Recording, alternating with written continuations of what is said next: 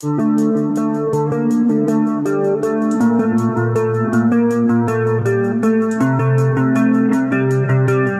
legend is back, and it's more powerful than ever. Ladies and gentlemen, meet the 2025 Pontiac GTO, a true muscle car icon reborn for the modern era. The 2025 GTO combines classic muscle car styling with a futuristic edge. Up front, the signature split grille returns, flanked by aggressive LED headlights, the sculpted hood hints at the beast lurking beneath while aerodynamic lines and a wide stance give it a commanding presence. The rear is just as striking, with sleek LED taillights and a functional rear diffuser. And let's not forget that GTO badge a mark of pure American muscle. Under the hood, the 2025 GTO packs a punch, powered by a 6.6-liter supercharged V8. This beast delivers a mind-blowing 750 horsepower and 680 pounds-to-feet of torque. Whether you're cruising the highway or tearing up the track, the GTO is built to thrill. And thanks to advanced suspension, Brembo brakes,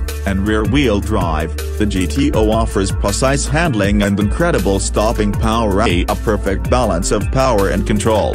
Step inside, and you'll find a driver-focused cockpit that blends luxury with performance. Premium leather seats with GTO stitching, a flat-bottom steering wheel, and customizable ambient lighting set the mood. At the center, a 12-inch touchscreen runs the latest infotainment system, offering seamless smartphone integration, navigation, and a premium sound system. And for the purists, there's an option for a 6-speed manual transmission A because some things should never go out of style. The Pontiac GTO has always been about attitude and performance, and the 2025 model carries that legacy forward. It's a car that pays homage to the past while embracing the future. So, whether you're a fan of the original or discovering the GTO for the first time, this is a car that demands your attention. The 2025 Pontiac GTO the legend reborn. Are you ready to take the wheel? Let us know in the comments what you think about this modern muscle masterpiece. Don't forget to like,